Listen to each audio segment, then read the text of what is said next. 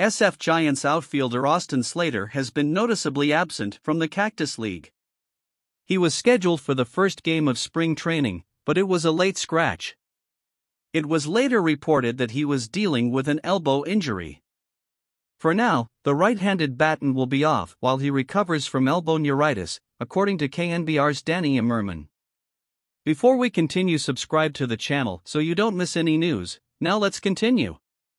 Slusser of the San Francisco Chronicle previously reported that Slater deals with the illness every spring and is not overly concerned. However, the goal is for it to be opening day ready, so shutting it down seems like a precaution at the moment. That said, this will be something to monitor as spring progresses.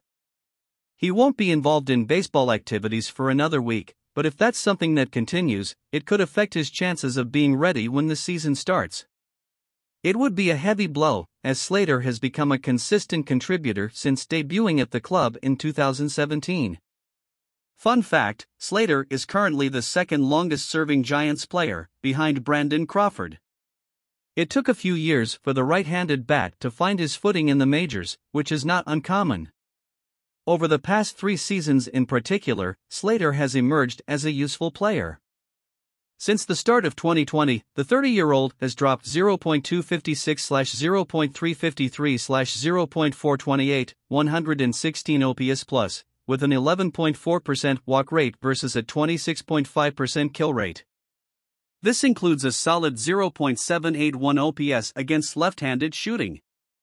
Slater found a niche against Southpaws, and Giants manager Gabe Kapler typically used him in the starting position in those fights. He fills the role of a starting hitter, offering a good combination of speed and baseline skills. Of course, the Giants also have Slater touted as one of two center field options. San Francisco is relatively light on depth in premium positions like center field, so they don't have many return options behind Slater. Hopefully, the elbow problem is minor so Slater can return and get some game replays before opening day. Will Slater recover before the season starts? Let's wait. Subscribe to the channel and leave your like. Until later.